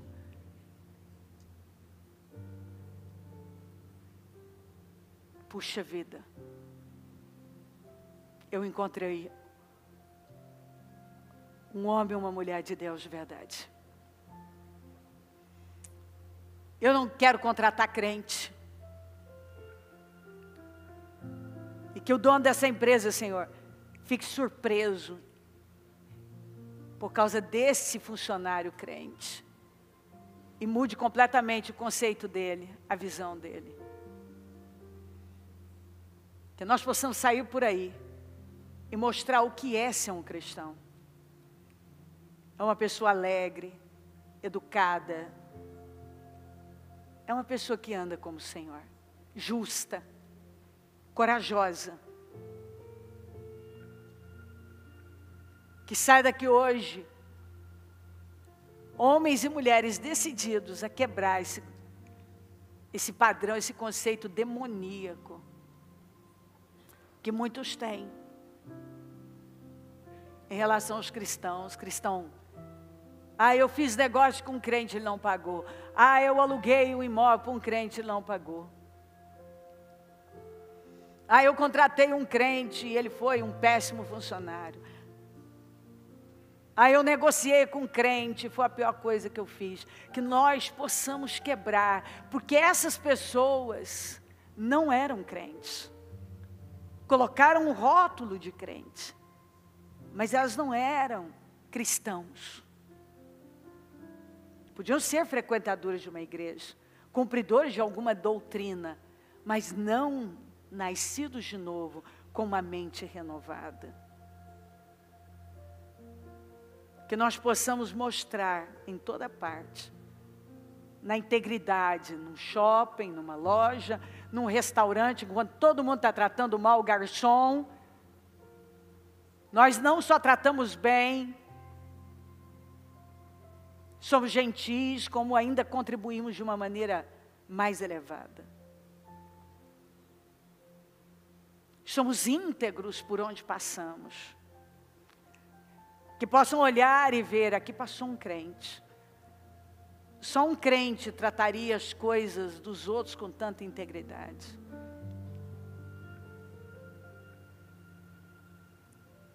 Só um crente tiraria algo do carrinho e colocaria na prateleira certa.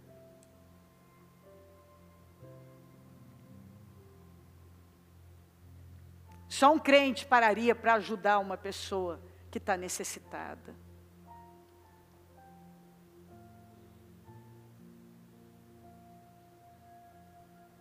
Ainda que ela não diga muito obrigado. Mas o crente ele não se importa com isso porque é o que ele é. Isso é o que nós somos, queridos.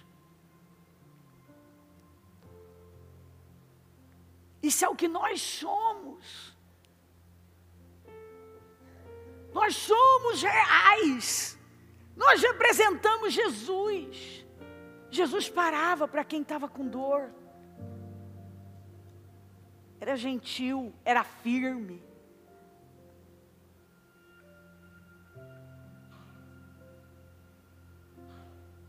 Hoje,